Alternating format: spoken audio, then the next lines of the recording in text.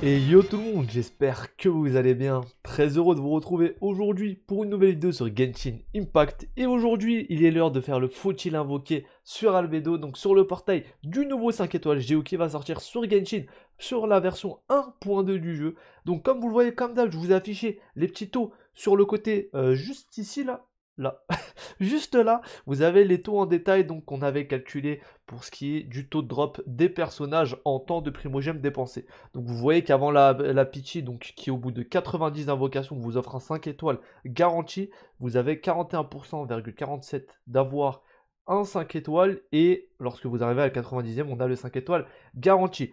Je rappelle aussi que le premier 5 étoiles que vous avez a une chance sur deux d'être le personnage principal de la bannière, donc Albedo, et le deuxième, vous avez 100% de chance de l'avoir. Donc si vous avez 2-5 étoiles, il y aura forcément Albedo dans l'eau. Si vous ne l'avez pas eu la première fois, vous l'aurez la deuxième. Donc la Pichi, elle marche tout simplement lorsque vous avez 89 invoques sans 5 étoiles, la 90e en garantie. Hein. Et ça, c'est à chaque fois que vous invoquez. Dès que vous avez un 5 étoiles, par contre, ça se reset au début. Donc si au bout de 50 invocations, vous avez un 5 étoiles, eh bien ça revient à 0 et il faudra refaire 89 invocations pour que la 90e soit un 5 étoiles si vous n'en avez pas eu un avant. Concernant ce portail, ce qui est très important de noter, c'est qu'on n'a pas de nouveau 4 étoiles dessus. On a un retour des anciens 4 étoiles qui sont Bennett, Fischl et Sucrose. D'excellents 4 étoiles sur le jeu, d'excellents supports, d'excellents DPS de base aussi. On va aller voir ensemble les constellations et pourquoi ils sont aussi forts parce que clairement l'intérêt de ce portail ça va être les doublons sur ces persos parce que les constellations sont vraiment fortes. En plus de ça, comme c'est des 4 étoiles et que le taux de drop est un peu plus élevé que les 5 étoiles, logiquement on va avoir du 5,1% de drop d'un 4 étoiles, contrairement au 5 euh, étoiles qui est un taux de drop de 0,6, ce qui est vraiment très peu. Par contre, on va avoir une chance sur deux du coup d'avoir un des trois personnages qui sont sur le portail, donc soit Sucrose, soit Fischl, soit Bennett qui se partagent du coup les 2,5%. Euh, et les autres 2,5%, ça va être tout ce qui est les autres 4 étoiles du jeu, que ce soit les personnages ou les armes. Donc, il faut noter aussi que vous pouvez avoir une arme en invoquant 4 étoiles, sachant que sur la bannière donc temporaire, on va jamais avoir d'armes 5 étoiles. C'est pour ça que au niveau des 4 étoiles, il fallait faire ce petit rappel là. Il faut comprendre aussi que dans euh, l'entièreté des 4 étoiles disponibles dans ce portail-là, il y a aussi des armes. Petite piqûre de rappel concernant Albedo, ça va être un support utilitaire qui peut infliger pas mal de dégâts, qui va poser une fleur qui permettra de monter, descendre, donc de mettre un personnage à l'abri, de faire plus rapidement des attaques piquées, et aussi d'infliger des dégâts supplémentaires en zone lorsqu'on est dans la zone de sa fleur avec celui-ci. Il a notamment des dégâts géo, et ça a l'air d'être un très bon support.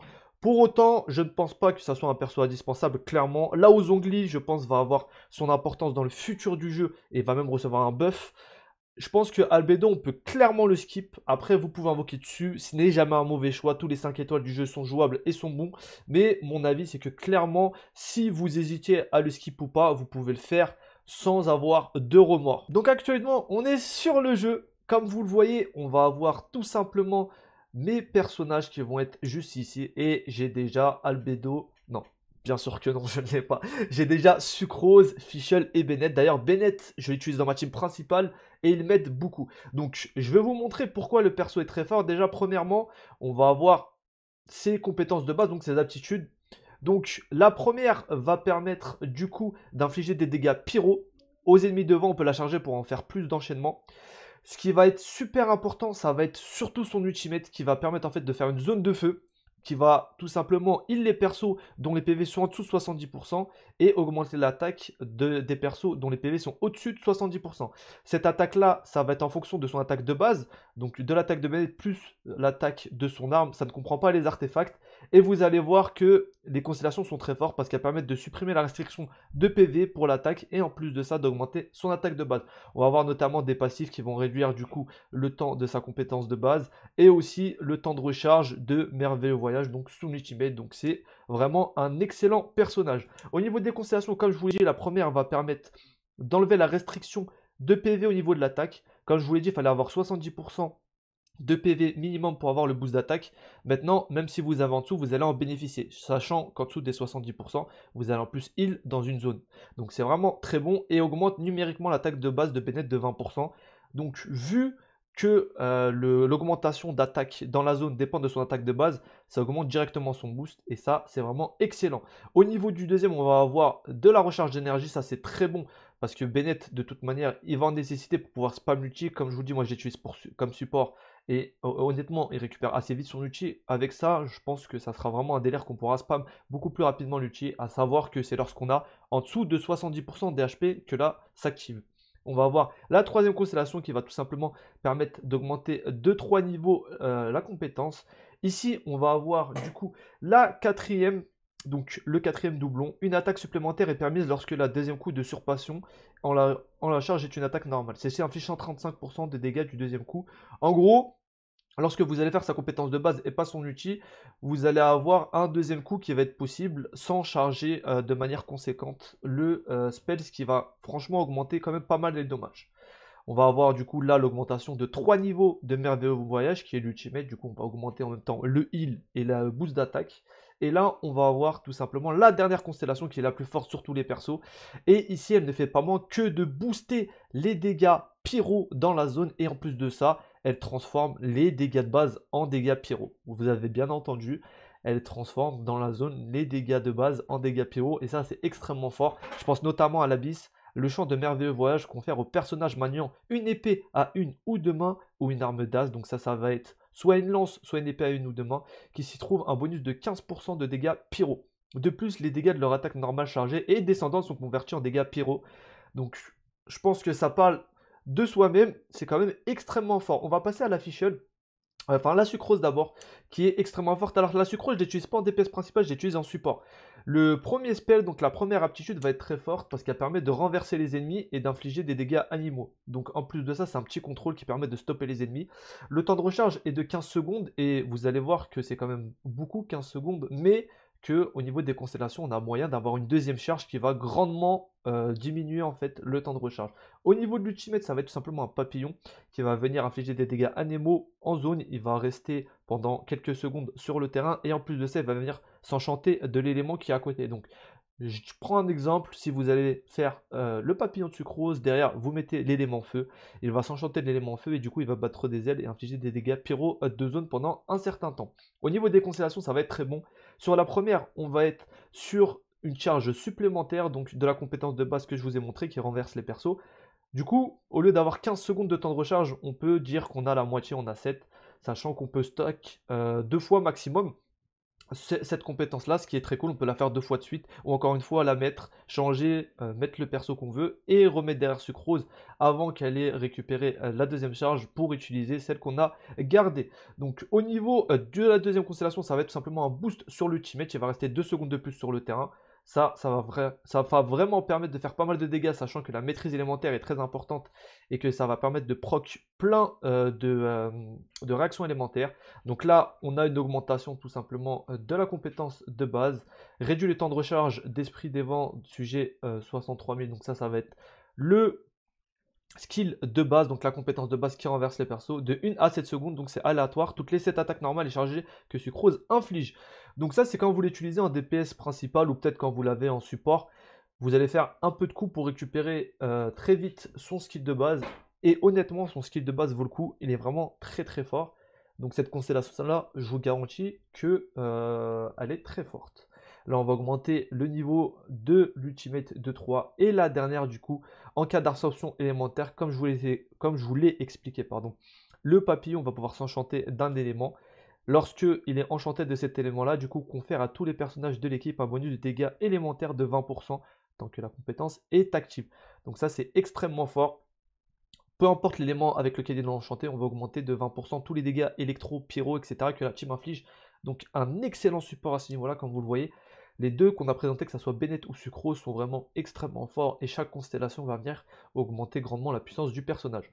On va terminer par Fischl, du coup. Fischl qu'on peut utiliser clairement comme DPS principale ou comme support, elle a vraiment énormément de dégâts.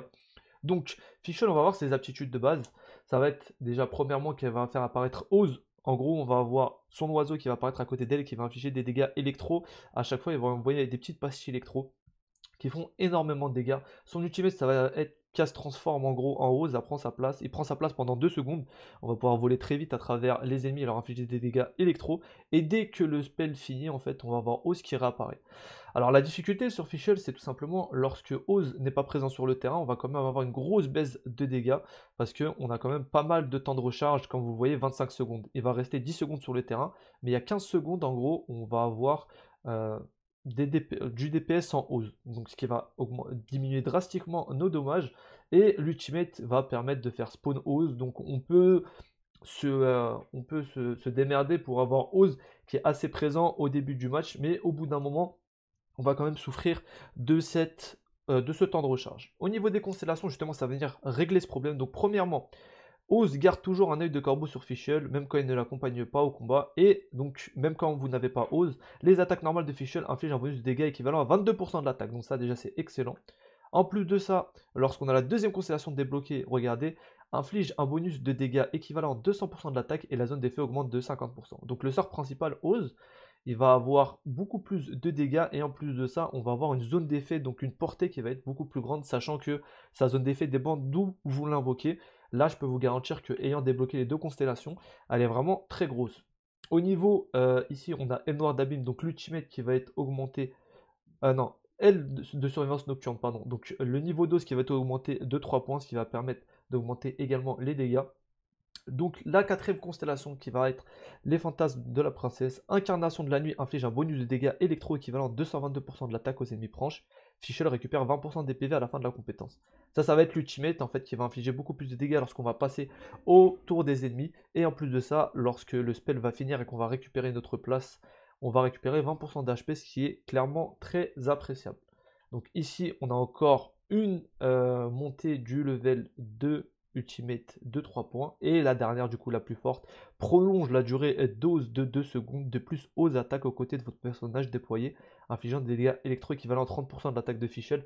Et ça, c'est extrêmement fort. Ça veut dire qu'en plus d'augmenter sa durée, ce qui est clairement le truc principal, vous allez gagner énormément de dégâts. Vu qu'il reste 10 secondes sur le terrain, si vous rajoutez 2 secondes, vous allez récupérer 20% d'efficacité sur le spell, qui est extrêmement fort. il va infliger en plus de ça plus de dégâts lorsque Fischl va mettre des coups.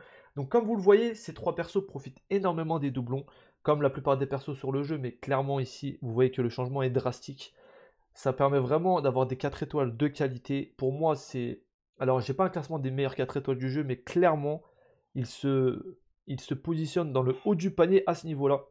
Donc euh, voilà pour les petits conseils sur invoquer ou non sur ce portail-là. J'espère que ça vous a plu. Le choix final vous, revient. Hein. Je vous donne juste des indications et des conseils pour faire celui-ci dans le meilleur des cas.